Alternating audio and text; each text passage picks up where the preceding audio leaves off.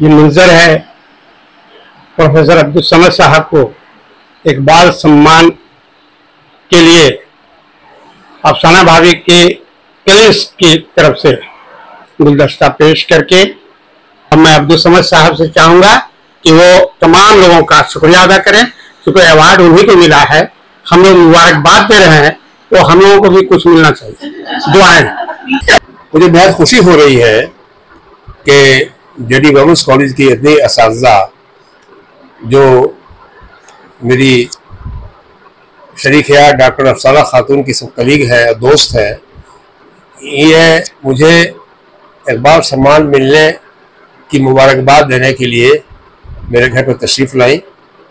ये जहमत की उन्होंने। ये एक मोहब्बत का रिश्ता होता है जिसकी कोई जबान नहीं होती है। और मोहब्बत के रिश्ते का कोई उन्मान भी नहीं होता है।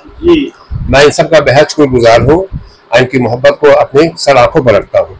और जो काम करते हैं ये तकनीकी काम है। तकनीकी काम जो है जब तक सुकून नहीं मिलेगा नहीं हो सकता है ये। ये और किसी काम में फ़र्क है। इसलिए ये इन्होंने इन्होंने एक बड़ा काम ये बहुत बड़ा कंट्रीब्यूशन इनका है कि इन्होंने घर में हमको इतना सुकून इतना इतमान फराहम किया। मैं अपने लिखे पढ़ने के काम में बगैर किसी रुकावट के हमेशा मशगूल रहा। मैं इनका बहुत शुक्रगुजार हूँ और रहूँगा। और मैं भी शुक्रगुजार हूँ इस मामले में, कि ये आवारा गर्दी को मैं करता हूँ।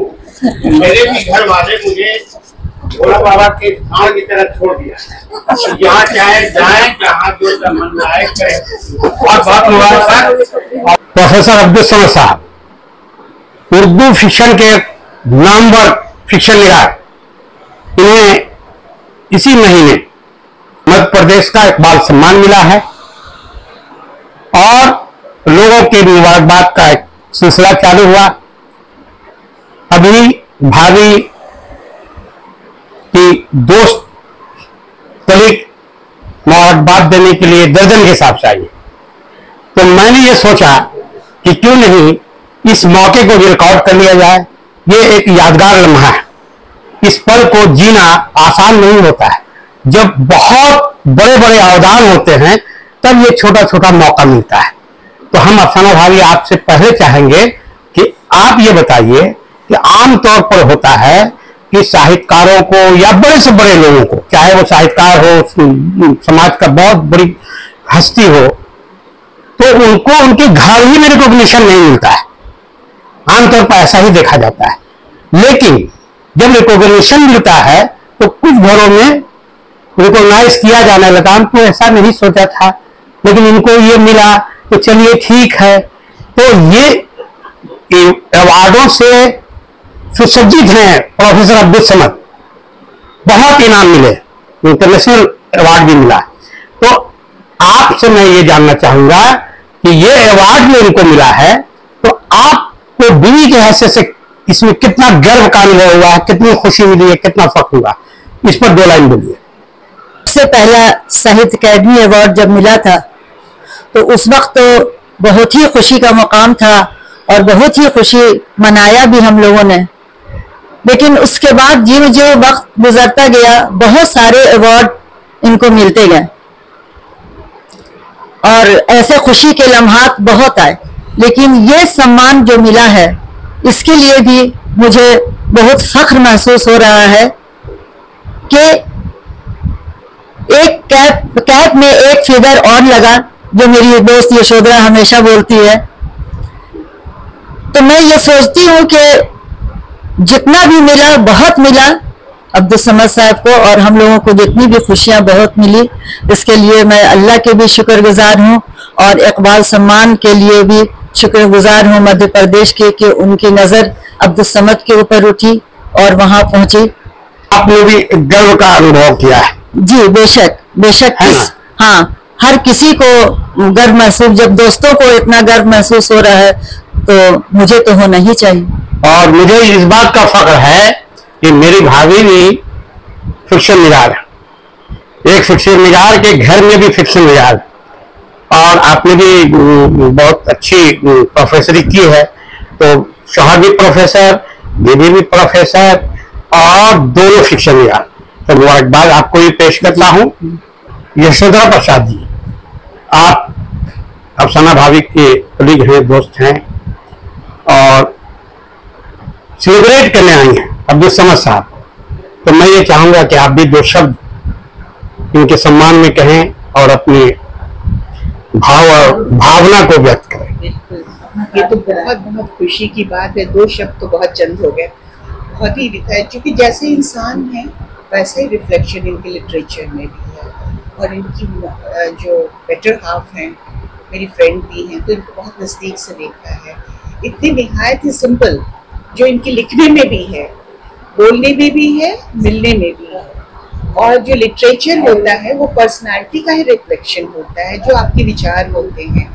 तो अभी तो कॉन्कुलेशन के लिए आए हैं, उनको बहुत बहुत many many more congratulation are still awaiting ये इतना ही नहीं है, आगे भी बढ़ने वाला है।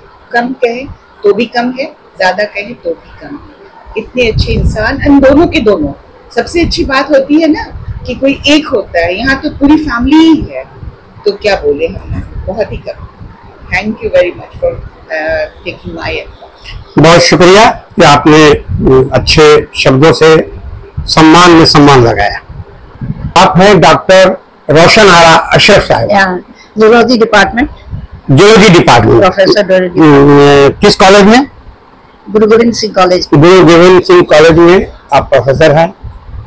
तो अब्दुल समद साहब को जो अवार्ड मिला है इकबाल सम्मान इस सिलसिले में आप सेलिब्रेट करने आई हैं। तो मैं भी आपको मुबारकबाद देता हूँ कि सेलिब्रेट करना बड़े दिल गुर्दे का काम है। किसी की खुशी में शरीक होना आसान काम नहीं होता है। लेकिन आप अफसाना भाभी की तमाम कलीग हैं। मैं फिर इन लोगों को दिखाना चाहता हूँ। ये सारे लोग बेहद खुश और एक जज्बे के साथ सेलिब्रेट करने आई हैं अब्दुल समद साहब को। और अब्दुल समद साहब भी ये सम्मान पाते हुए खुश होंगे। अगर कि उनका मिजाज नहीं है कि कोई इनकी तारीफ़ उनके रूबरू करे। ये मैं जानता हूँ। और इसकी गवाही भाभी दे सकती है। ये अपने अवार्ड बताने में शर्मिंदा होते हैं इंटरव्यू में। अब हम क्या बताएँ? तो ऐसे लोगों के लिए ये ये भी एक सम्मान है एक अवार्ड है कि आप उनके लिए दो शब्द कहने के लिए हाजिर हुई तो अशरफ साहब बताइए। हाँ अब्दुल समद साहब का जो ये अवार्ड मिला है अखबार जो मध्य प्रदेश का उससे हम लोग को बहुत खुशी हुई। और इन लोग जो है हमारे पुराने मतलब जानने वाले भी हैं और रिश्तेदार भी हैं इसलिए हमको और खुशी हुई। और खास करके अफसाना जो है उनके साथ हम लोग कॉलेज में भी रहे लोग कलीग है इससे बढ़कर और क्या खुशी है और तरक्की करें। और हम लोग उनके लिए हमेशा दुआ करते हैं दिली दुआ करते हैं। आमीन। चलिए बहुत शुक्रिया। आप हैं डॉक्टर दीपा प्रसाद यस और अब्दुल समद साहब को शुभकामना देने आई हैं अवार्ड के सिलसिले में या तो हम चाहेंगे कि आप भी अपने भाव और भावना को शब्द दीजिए। हाँ। बिल्कुल, हमको बहुत खुशी हुई जानकर कि उनको इतनी बड़ी अवार्ड मिला है। इसलिए इकबाल अवार्ड तो हम तो बोले कि हम भी शामिल होना चाहते हैं। इन लोग निखत रोशन इन लोग सब तो आ रहे थे तो बोलिए कि आप भी चलिए, हम बोला, ज़रूर चलेंगे हम। फिर हम आ गए यहाँ बहुत अच्छा लगा और इनको कॉन्सुलेट करने में हमको बहुत खुशी हुई। एंड अफसाना भी कॉलेज में भी साथ रही और यहाँ भी बहुत अच्छा लगा हमको यहाँ आकर। आप हैं निखत साहबा। आप अफसाना भाभी की कलीग हैं। तो आप अपने जज्बात का इजहार कीजिए। मैं यहाँ पर अब्दुल समद साहब को उनके अखबार सम्मान के लिए मुबारकबाद देने आई हूँ। ये बहुत बड़ी बात है कि बिहार का आदमी मध्य प्रदेश में इतना बड़ा रिप्रेजेंटेशन हुआ और उनको इतने बड़े तहाब से बुलाया गया है कि आकर के आप अवार्ड रिसीव करें।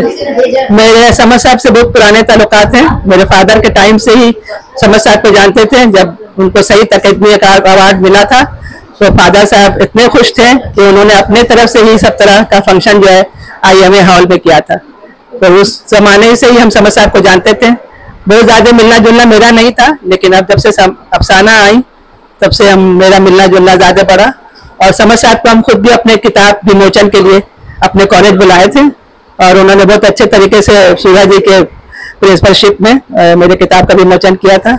और सब कुछ उस फ़ंक्शन से भी बहुत खुश थे। और आज की तरक्की के लिए तो मैं सो- सोच भी नहीं सकती थी कि इतने घर में भी बैठ करके लोग इतने दूर तक काम कर सकते हैं। तो मैं बहुत खुश हूँ और उनको मुबारकबाद देने आनी हूँ। आप हैं निरोफर खान साहबा। जी। आप अपने जज्बात का भी इजहार कर दीजिए। जी मैं आज बहुत ज़्यादा खुश हूँ और मैं अपने अल्लाह का तह दिल से शुक्रिया अदा कर रही हूँ और उनके शुक्रगुजार हूँ कि उन्होंने नवाजा है हमारे भाई को इतने बड़े अचीवमेंट इकबाल अ, समा बहुत ही अच्छा लग रहा और बहुत खुशी महसूस हो रही है और मैं अपने अफसाना बाजी का भी शुक्रिया अदा कर रही हूँ कि उन्होंने हम लोगों को यहाँ पे बुलाया। हम लोग मिलने की बहुत ख्वाहिश रख रहे थे और मुबारकबाद देने की। और उन्होंने कहा कि हाँ बिल्कुल तुम लोग आओ मिलो और उसे चलिए बहुत बहुत शुक्रिया। जी बहुत बहुत। आप हैं इशरत सुबही साहबा प्रोफेसर अब्दुल समद साहब को मुबारकबाद देने आए हैं। आप भी अपने ख्याल और जज्बात का इजहार कर दीजिए। सबसे पहले तो मैं बहुत शुक्रगुजार हूँ कि अल्लाह ने मुझे ये मौका दिया कि अब्दुल समद अंकल के सामने बैठे हैं उनको मुबारकबाद देने के लिए यहाँ तशरीफ़ लाए हैं। मुझे खुशी है कि अफसाना मैम से मेरी मुलाकात जेडी वुमेंस कॉलेज में हुई, जब मैंने वहाँ पे तीन साल दरस तदरीस का काम अंजाम दिया। तो उस वजह से मुझे मुझे यहाँ घर पे आना जाना बढ़ा और अंकल की न सिर्फ़ शख्सियत ऐसी है कि किसी को भी गर्विदा बना लेते हैं। उनका अदबी मैार भी इतना ऊँचा है कि उस बारे में मैं क्या कहूँ। खैर, अंकल को बहुत बहुत बहुत मुबारकबाद और अभी फ़िलहाल मैं वहाँ से बहुत कुछ सीखने के बाद अफसाना मैम से अभी फ़िलहाल पटना यूनिवर्सिटी पीजी डिपार्टमेंट में अपने फ्राइज अंजाम दे रही हूँ। अंकल को फिर से बहुत बहुत मुबारकबाद। बहुत शुक्रिया।